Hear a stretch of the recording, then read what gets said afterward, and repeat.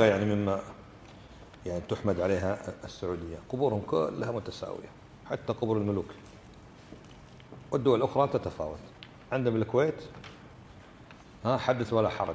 اللوحات وشيء مرتفع وشيء مبني على اللوح هذا كله ما يجوز. وكان في الحجاز قبل قيام الدولة السعودية هكذا في صور موجودة. قباب مرتفع كلها سوت. سويت في الأرض كلها. وهذا مما يشكرون ويحمدون عليه. تطبيقا للسنة. أما عاد في دول أخرى؟ لا خاصة إذا كان واحد من من الأولياء كما يقولون ولا شيخ ولا صاحب طريقة يعملون مزار كبير وقباب وربما رصد بالذهب الخالص. وصارت له مزارات وتمسح يتمسحوا فيه ويصلون عنده ويطلبون الحاجات وهذا هو الشرك الأكبر. ففتنة القبور فتنة عظيمة جدا. نعم.